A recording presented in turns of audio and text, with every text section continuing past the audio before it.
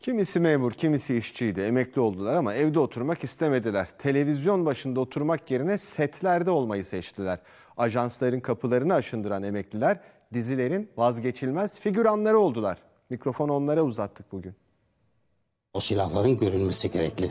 Tamam. Devlet memuruyum ben. ya. Emeklisiyim. Şıklık böyle maşallah süpersin. Öyle olmasa hanım eve almıyor.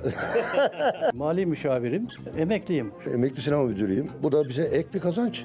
Hepsi farklı mesleklerden emekli oldu. Ancak aynı yerde buluştu. Onları buluşturan yer dizi setleri oldu. Nasıl? Benzemiş miyim Celal Baba'ya? Durak hangisi? Karaköy kızı. Oğlum araba bile aldım ben buradan. Oyuncu ajansları son dönemde hareketli.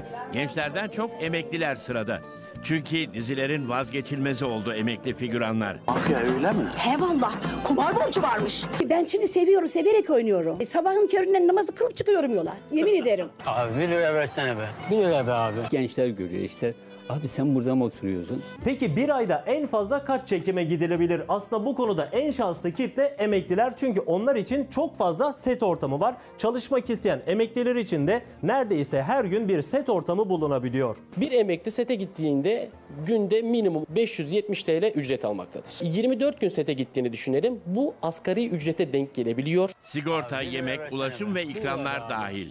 Hem çalışıp hem sosyalleşiyorlar. Ben şimdi teyze olarak, anneanne olarak, babaanne olarak, komşu teyze olarak gidiyorum. Bereket versin yakışıklı abim. Bir başrol oyuncusuyla trilyon versen aynı masada oturamazsın.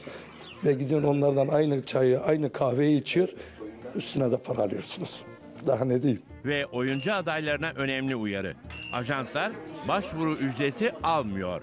O yüzden dolandırıcılardan gelen mesajlara sakın aldanmayın.